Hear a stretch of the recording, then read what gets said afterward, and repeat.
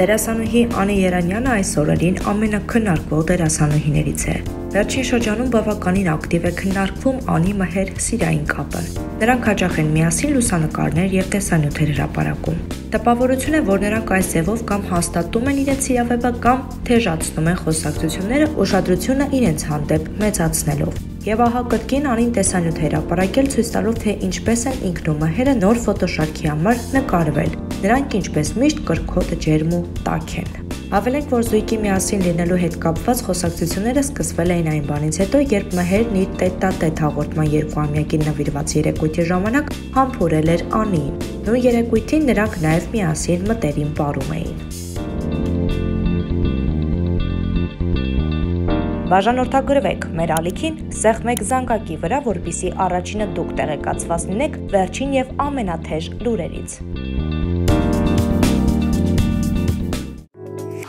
Մոնտաժ բյութի սրահ։ Իվոլ նորագույն տեխնոլոգիան հատուկ ռադիոալիքներով խթանում է թեպերի, որովայնի, գոտկատեղի, հետույքի, ազդրերի եւ ոտքերի մկանների տեղային զարգացումը, ճարպային շերտի չեզոքացումը եւ մաշկի էլաստիկության վերականգնումը։ Արդյունքն ակնհայտ է ու տեսանելի։ Խորհրդատվությունն անվճար է։